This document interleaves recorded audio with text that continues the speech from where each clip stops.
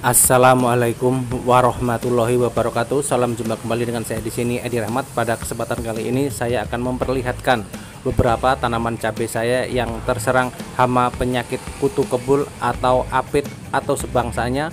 Ini berbentuk putih, letaknya di belakang atau di bawah permukaan daun. Di sini teman-teman harus waspada tentang penyakit ini kalau ingin tanamannya berbuah. Mari kita lihat dan mari kita teliti apa saja ciri-cirinya. Jadi seperti yang terlihat di dalam video ini, ciri-cirinya seperti ini, teman bisa uh, melihat sendiri atau nanti ada teman yang mengalaminya. Ini yang menyebabkan tanaman kita itu tertunda berbuahnya, bahkan berakhir pada kematian tanaman tersebut. Di sini nanti kita akan berikan obatnya atau penanggulangannya. Jadi bahan dan alat yang perlu disediakan adalah parutan teman-teman. Dan kunyit juga ini ada mangkok.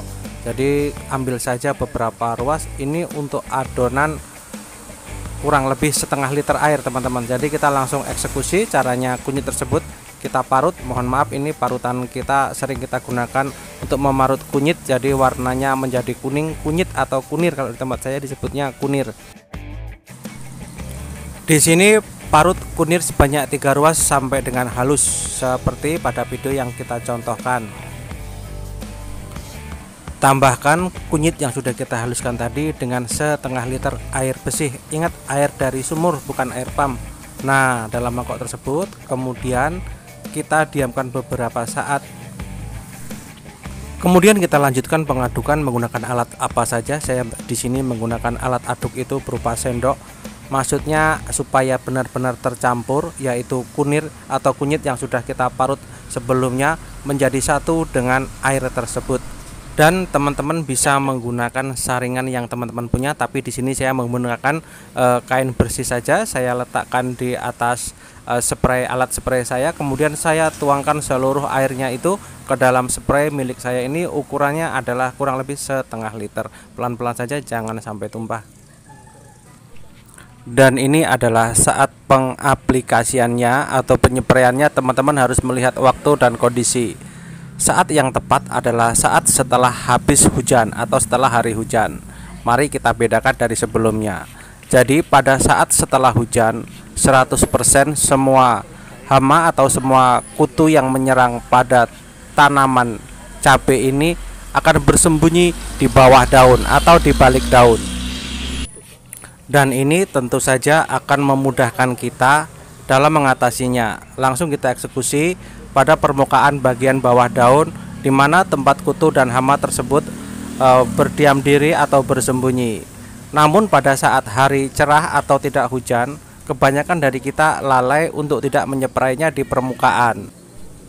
Sehingga pada saat permukaan daun bawah atau bagian bawah itu sudah mengering hama penyakit atau kutu kebul yang berada di permukaan akan kembali ke bagian bawah.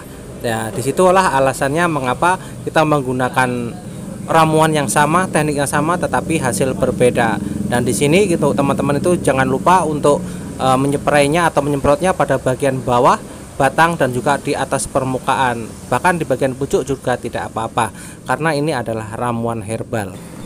Sedangkan untuk ampas kunyit yang atau setelah kita parut sebelumnya itu kan terdapat endapan. Endapan dari kunyit ini pun atau ampas kunyit ini pun sangat bermanfaat sekali untuk pupuk sekaligus pengendalian hama, belalang, jangkrik, ulat bahkan yang lainnya itu tidak mau mendekat kalau terdapat aroma kunyit. Kita bisa menambahkannya tersebut atau pupuk kunyit tersebut sebagai pupuk tambahan untuk tanaman cabai kita. Caranya pun cukup gampang yaitu cukup dituangkan saja ke bagian pangkal batang tanaman cabai ini hingga semuanya habis seperti pada contoh video.